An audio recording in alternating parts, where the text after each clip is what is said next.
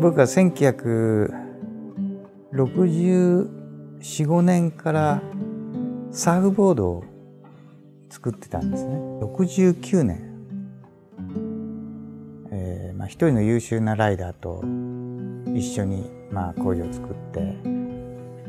ー、パイオニアモスというサーフボードを作って売り始めた。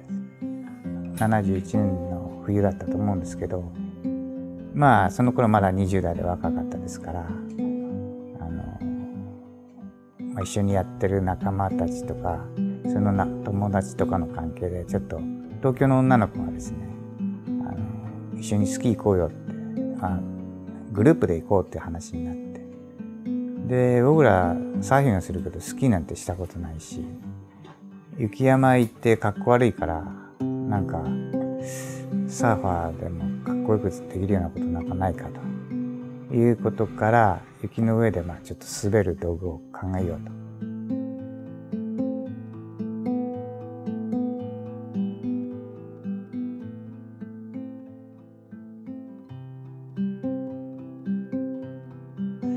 雪の斜面を波の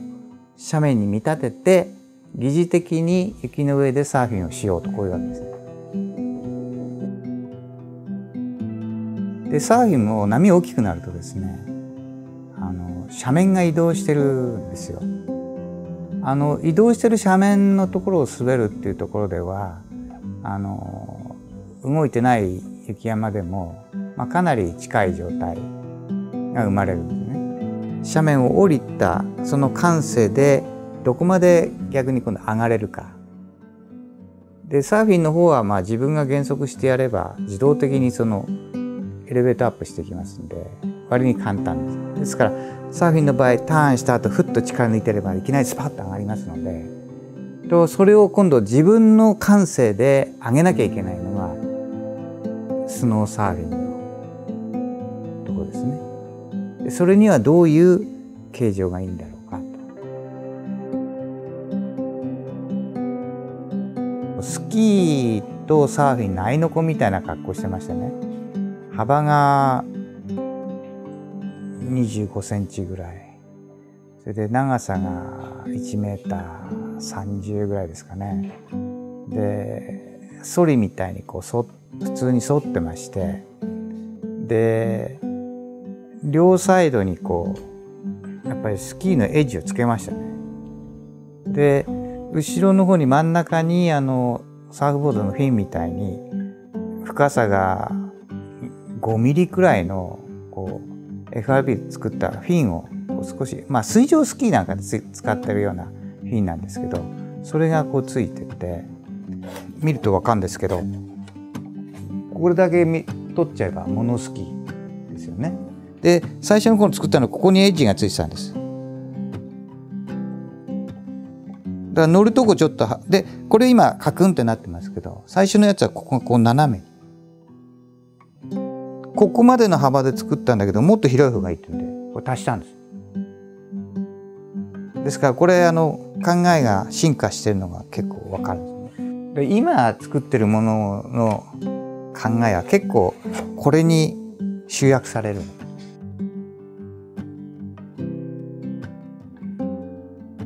できるだけそのスノーボードをやってた時の癖っていうのをあの自分で理解してもらわないと最初スノーサーフィンって難しいように思うんですよね。二軸でこう運動してスケートボードみたいなんですねちょっと。でサーフィンはどっちかっていうとその二軸になる時もあるんですけどそれを一軸にして乗る時がサーフィンの乗り方なんです。自転車乗ってる時みたいに